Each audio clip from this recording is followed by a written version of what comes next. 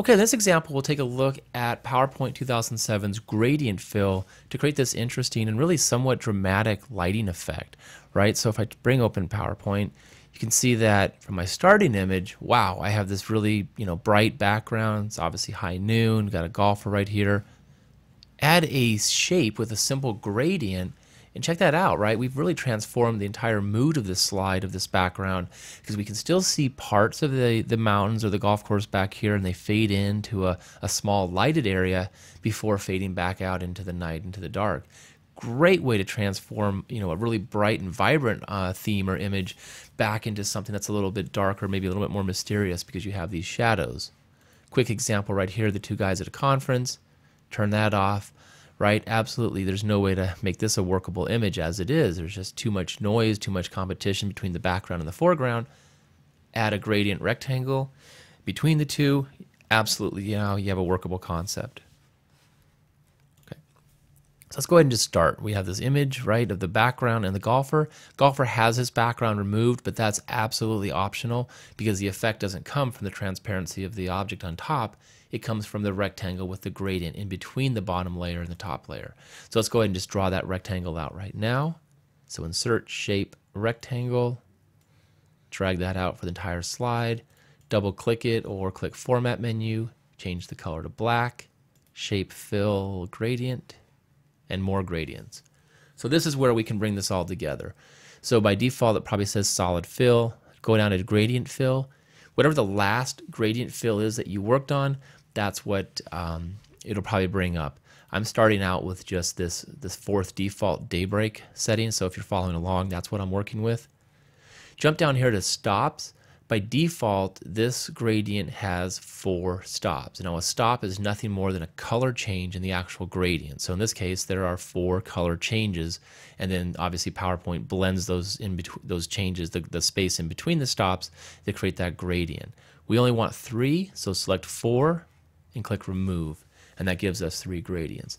Now the stops that we want to work with will be black right here, white to let you know see through the golf course, and then black again. So black, white, black. So select stop one, we'll change that to black.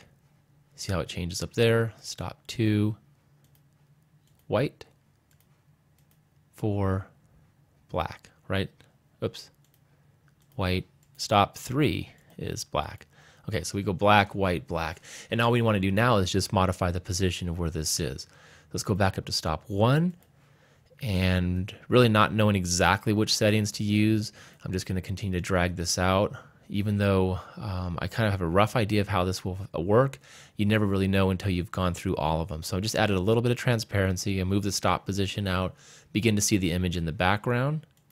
So stop two. Stop two I know is going to have a high transparency right? Because that's how we can see through the image.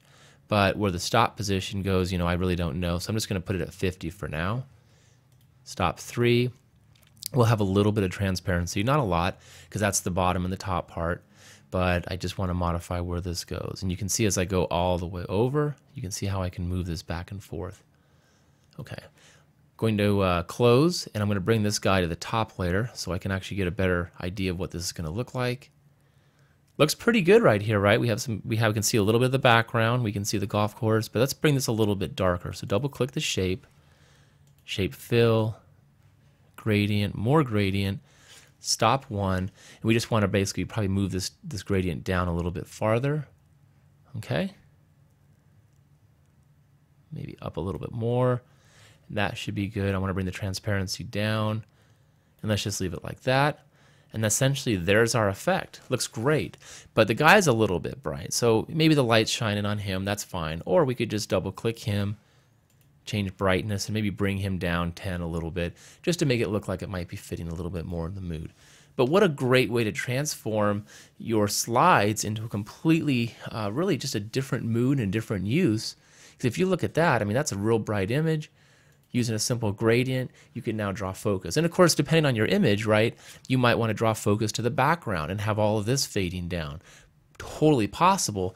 It just depends on where your focal point is, where you want to put your text and where you want to work your images will determine, you know, the different stop points for your gradient. But a great way to kind of experiment and reuse images in a completely different way.